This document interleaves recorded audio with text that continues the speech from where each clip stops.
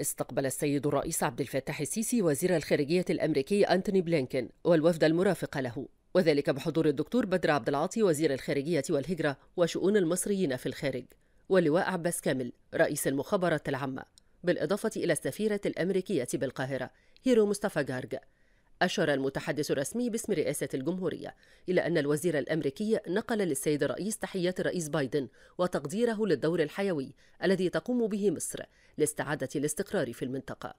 وهو ما ثمنه السيد الرئيس مؤكدا أهمية الشراكة الاستراتيجية المصرية الأمريكية في حماية مصالح الدولتين وتعزيز الأمن الإقليمي. وقد تناول اللقاء في هذا الصدد الأوضاع في الأراضي الفلسطينية حيث تم تبادل وجهات النظر بشأن كيفية تعزيز الجهود المشتركة بين مصر والولايات المتحدة وقطر. للمضي قدما في مفاوضات وقف إطلاق النار وتبادل الرهائن والمحتجزين وتيسير إنفاذ المساعدة الإنسانية. وقد حرص السيد الرئيس في هذا الإطار على التشديد على أولوية التدخل الحاسم لإزالة العراقيل أمام إدخال كميات ضخمة من المساعدة إلى أهالي غزة. الذين يعانون من كارثة معيشية وصحية. بالإضافة إلى ضرورة وقف الانتهاكات الإسرائيلية في الضفة الغربية وعدم مواصلة سياسات التصعيد ضد الفلسطينيين. وفي هذا السياق أكد الجانبان أن حل الدولتين يظل هو مسار تحقيق السلام والأمن المستدامين.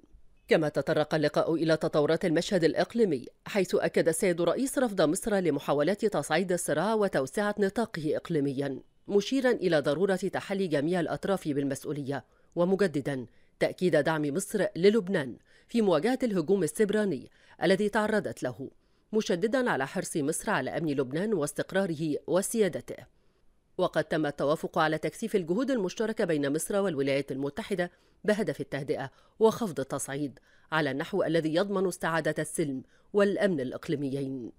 اللقاء تطرق كذلك إلى جهود تطوير العلاقات الثنائية حيث تم تأكيد الحرص المتبادل على استئناف الحوار الاستراتيجي والترحيب بانعقاده خلال زيارة وزير الخارجية الأمريكي الجارية لمصر وذلك على النحو الذي يحقق المصالح المشتركة للدولتين. كما عقد السيد الرئيس عبد الفتاح السيسي اجتماعا مع الفريق أسامة ربيع رئيس هيئة قناة السويس والمهندس مصطفى الدجيشي رئيس مجلس إدارة شركة ترسانة جنوب البحر الأحمر. وقد اطلع السيد الرئيس على تطورات حركة الملاحة بقناة السويس في ضوء التحديات الراهنة في منطقة البحر الأحمر وباب المندب وسبل الحد من التأثيرات السلبية على حركة الملاحة بالقناة في ظل أهميتها لاستدامة واستقرار سلاسل الإمداد وحركة التجارة العالمية.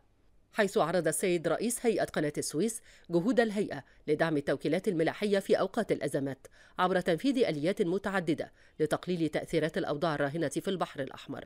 كما تم استعراض سبل رفع كفاءة الخدمات الملاحية والبحرية بالقناة عبر استحداث حزمة جديدة من الخدمات الملاحية بما يتلائم مع السفن العابرة في الظروف الاعتيادية والظروف الطارئة على حد سواء وتقديم الخدمات المتنوعة للسفن المارة وعلى رأسها خدمات الإنقاذ البحري وخدمات الإصلاح وصيانة السفن بترسانات الهيئة.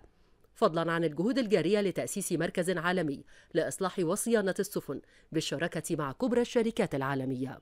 كما تابع السيد الرئيس خلال الاجتماع مستجدات الجهود الرامية لتحديث أسطول الصيد المصري بالشراكة مع القطاع الخاص الذي يهدف لتوطين صناعة الوحدات البحرية المختلفة في مصر بما يعزز من جهود الدولة نحو ترسيخ دعائم صناعة بناء السفن واليخوت السياحية.